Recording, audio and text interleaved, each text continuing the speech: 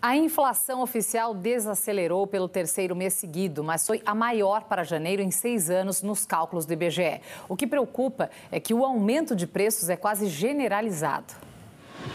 A maior variação veio do grupo artigos de residência, em especial de eletrodomésticos e equipamentos. Mas o maior impacto na taxa partiu da alimentação e bebidas, porque consome a maior parcela do orçamento das famílias. Os principais destaques foram para as frutas, com aumento médio de mais de 3%, e novamente para as carnes. O café moído está subindo há 11 meses. Em um ano, ele ficou quase 60% mais caro.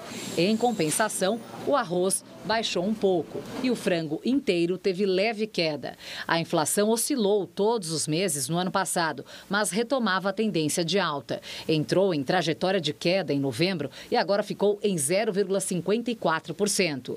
Os aumentos estão disseminados. Praticamente três em cada quatro produtos ficaram mais caros no mês passado. Dos nove grupos pesquisados pelo IBGE, oito tiveram alta em janeiro. A exceção foi transporte transportes por causa da queda de preços das passagens aéreas e também do alívio nos combustíveis, os grandes vilões dos últimos meses. A gasolina baixou pouco mais de 1%. A redução de preço do etanol foi um pouco maior. Só o diesel destoou nesse grupo e aumentou mais de 2%. Em 12 meses, a inflação acumulada voltou a subir, segundo a pesquisa.